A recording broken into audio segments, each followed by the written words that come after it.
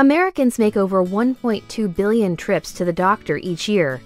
The American Medical Association estimates that nearly 70% of these doctor's office visits can most likely be handled remotely through telemedicine. Telemedicine is an evolving model of healthcare that allows medical professionals to confidentially evaluate, diagnose, and treat patients remotely by using secure electronic communication options available through your computer or smartphone. Opting for telemedicine as an alternative to in-person medical visits provides a number of benefits for both employees and employers alike.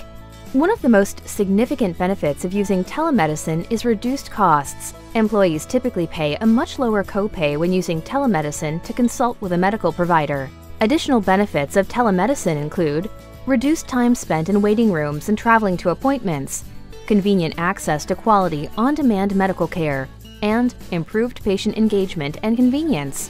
While not suitable for every medical situation, telemedicine offers you a reliable, convenient option that ensures you and your family have direct access to quality healthcare when you need it the most.